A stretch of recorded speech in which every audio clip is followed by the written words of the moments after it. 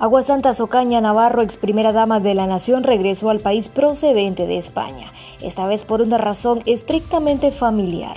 En su estadía en el país, la señora Aguas Ocañas decidió adoptar a cuatro niños hondureños, mismos que en su momento no pasaban por el mejor momento y las mejores condiciones de vida. Siendo esposa del expresidente Ricardo Maduro entre 2002 y 2006, Aguas Ocaña realizó el trámite bajo todos los aspectos legales y parámetros establecidos de los cuatro menores hondureños, Vengo para intentar concluir la adopción de mi hijo mayor que fue realizada en Córdoba, Argentina, y que luego, cuando ya mi hijo tenía 21 años, para no requerir la autorización de la familia y cuando fue presentada ante la Corte hondureña, nos encontramos con la sorpresa de que el magistrado de ese momento nos pedía la autorización de la familia, reveló la ex primera dama. Nacida en Madrid en 1963, Agua Santa Socaña Navarro es recordada en Honduras por su proyección social, especialmente con los más desprotegidos.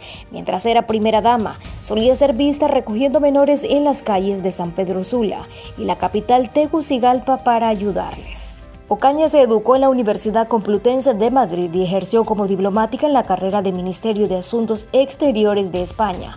Aguas Ocaña es la única mujer española en ser primera dama de un país extranjero. La boda se llevó a cabo en octubre de 2012 en la Embajada de España en Tegucigalpa. Como resultado de su matrimonio, Aguas Santas Ocaña adquirió la doble nacionalidad española-hondureña y se convirtió en la primera dama de la nación acompañando a su esposo durante su mandato presidencial creó un programa llamado Cero Niños en las Calles, que tenía como objetivo eliminar la presencia de menores de edad trabajando en las calles de Honduras. Aguas Ocaña se convirtió en una incansable defensora de los derechos de la infancia. Ha mostrado su compromiso adoptando a niños huérfanos. Después de dejar de ser primera dama el 27 de enero de 2006, decidió residir y trabajar en Nicaragua. En este país se dedica a trabajar con niños en situación de desamparo y años después se radicó en Argentina junto a sus hijos.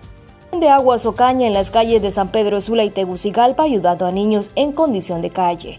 Quedó marcada en gran parte de la población hondureña. Aguas Ocaña se mostró sonriente en su arribo a Honduras. En la capital, Aguas Ocaña fue abortada por periodistas, a los que atendió amablemente. El recuerdo de Ocaña en Honduras se refleja en las redes sociales, con los comentarios dejados por internautas sobre la noticia de su arribo al país. La proyección social de Ocaña con la niñez hondureña no ha tenido comparación y ha dejado en claro que volvería a hacer eso y más. Aguas Ocaña dejó el país hace 17 años, pero durante ese tiempo ha tenido palabras para el país y su población ante medios de comunicación.